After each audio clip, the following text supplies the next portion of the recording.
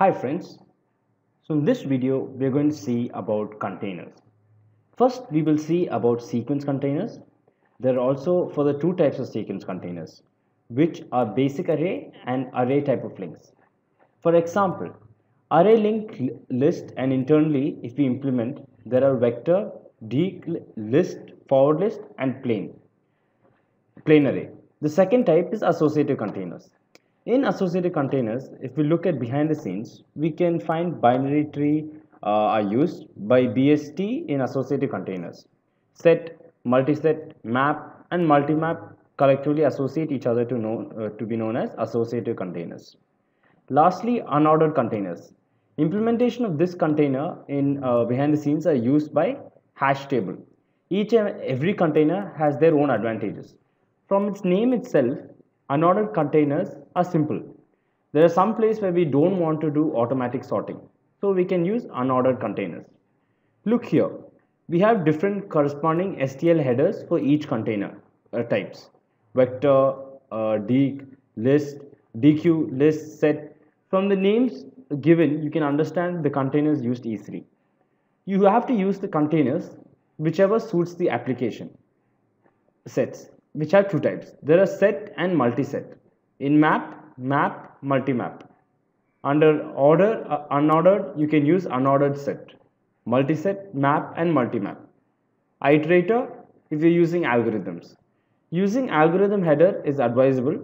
If numerics are there, numeric header will be helpful. Lastly, if functors are being used, use the functional header, which will be which will be easy functions. In the upcoming chapters, I will give more insights about functors. Right now, we'll learn the headers which are being used for correspondingly. First, let's start with sequence containers. The sequence containers refer to the group of container class templates. Its first operation is vector. Vector is an array and have the ability to resize itself automatically. When an element is inserted or deleted with their storage, being handled automatically by the container. Vector elements are placed in contiguous storage so that they can be uh, accessed and traversed using iterators. Insert is always provided at one end. Where is it being uh, pushed uh, back or vectors have three elements while inserting. One, it can be used as array directly, else using at function. The difference between both of them are, if array function are being used, there won't be any range uh, checking happening due to array operator. Subscript operator and with that function. The operator check the range properly and throw range error exception if it is out of range.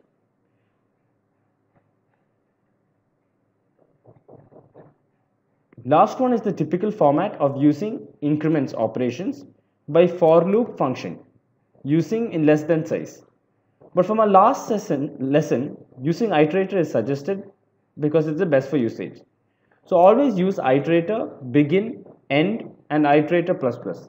There are no much differences coming uh, comparing the above. So instead of i above here, we use iterator itr and VCI as star iterator.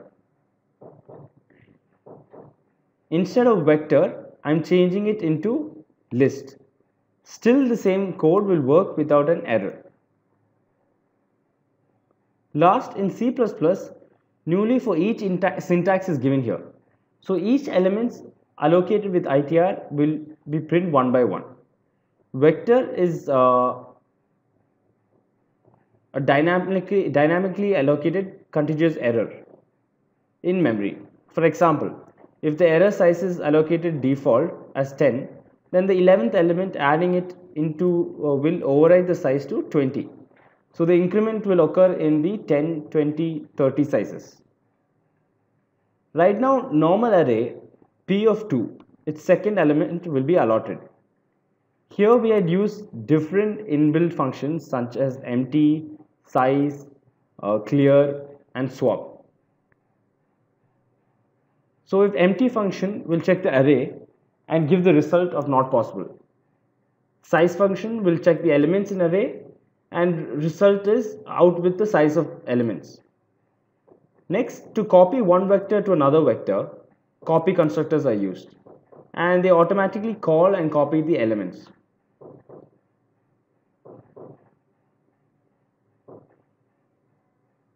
To remove all the elements from vector, we use clear function where the size will be assigned to 0. Swap function is used here where elements from vector 1 has been swapped to vector uh, to swap to VEC. It is not the copying function, it is the moving or all elements from one to another, so the vector 2 will be empty. So be careful while using swap function. All the library had optimized for the library for efficient abstraction. Let's look at the properties of the vectors. If the element has been inserted to the end, it takes the position of in order of 1. In case the element is being added to the middle, all the elements have to be distorted from both sides. Insert of elements in middle using push in the order of n. If your search activity is carried out, it would be a bit slow. Next sequence container is DQ. In vector, we can only push the elements through back, whereas in DQ, we can push it from both the sides with datas. The properties of uh, vector and DQ are quite similar, here only the differences are push front and push back. Fast insert beginning at the end, insertion in the middle by using order of n. And the search of DQ will be slow since it checks each and every element in the line and moves on. Interface for the DQ is similar to the vector using array function where middle element can be taken. If array of 1 is given, it showcases the first element. As usual, its index starts from 0 and increments in the array. Always it starts with index 0, no matter whether it is uh, STL collections or normal type array. Next, we're going to study list.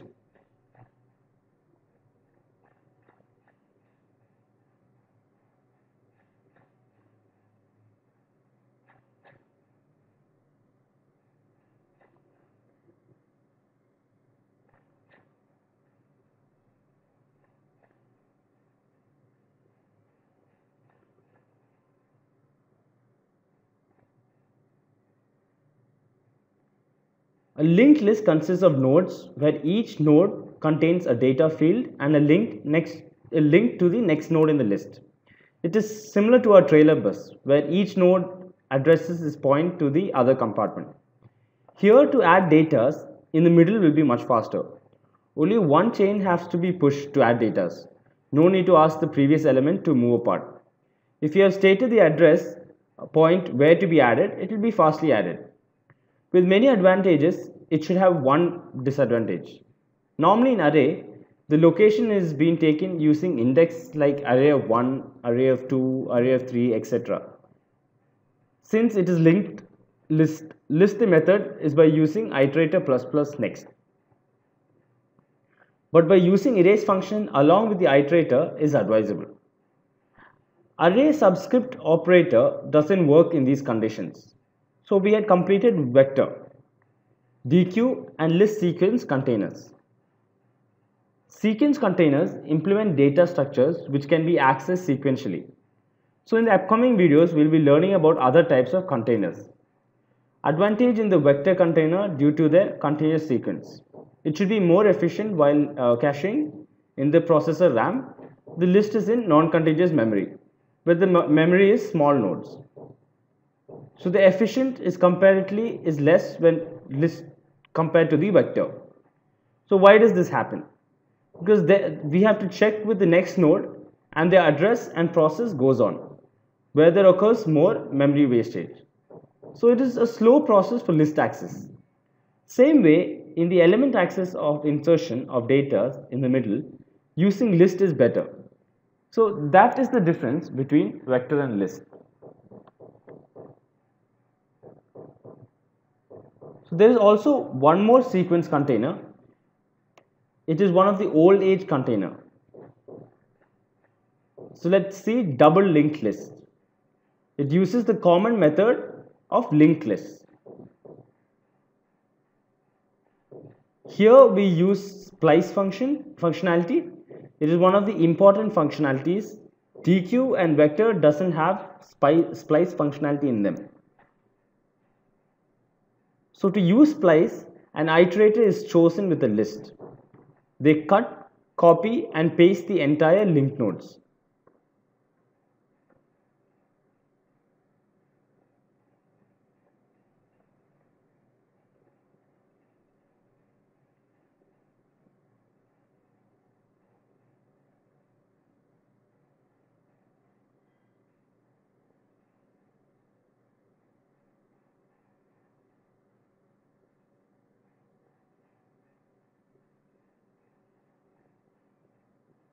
Splice is the specialty of double linked lists. Here the order shown is 1. The runtime complexity uh, in case if somewhere many insertions happen in the middle or copying of one array, uh, into another always it is advisable to use list type of containers. There is one more type of sequence containers it is forward list. Forward list is the miniature version of list. Here only one side of the link is pointed. It is also known as single list. Forward list is useful than other containers in insertion. Removal and moving operations like sort and allows time constant insertion and removal of elements. In most cases, no one uses forward list and it's been used for rare cases.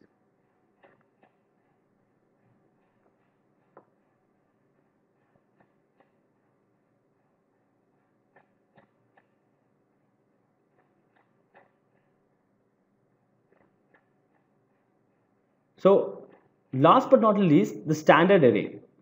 Arrays have fixed sizes, begin, end, and swap is given. A wrapper template is given by array of.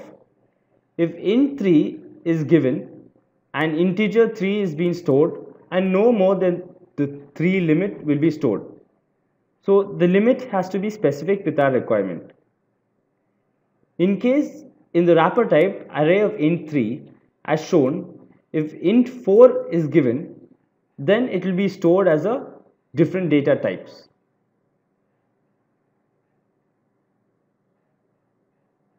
So the size matters here between A and B arrays.